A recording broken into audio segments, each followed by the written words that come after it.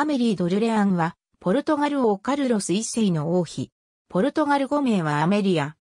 共に、フランス王、ルイ・フィリップの孫で、いとこ同士である、パリ博フィリップとその妻マリー・イザベル・ドルレアンの娘として、ロンドン郊外のトゥイッケナムで誕生した。スペイン王アルフォンソ12世妃マリア・デ・ラス・メルセデスは、母方の叔母にあたる。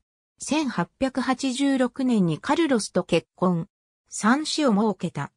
1908年2月1日、リスボンでの暗殺事件で、夫カルロスは即死、長男、ブラガンサ公は事件から20分後に死亡した。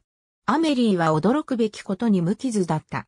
暗殺者たちは警護員らに銃撃され死亡、後にポルトガル共和党のメンバーと分かった。片腕を負傷した次男マヌエルが王位についた。1910年、ポルトガル共和国樹立とともに、国王一家は亡命、アメリーは1951年にルシェネで死去した。王国の瓦解によって、アメリーはポルトガル最後の王妃となった。ありがとうございます。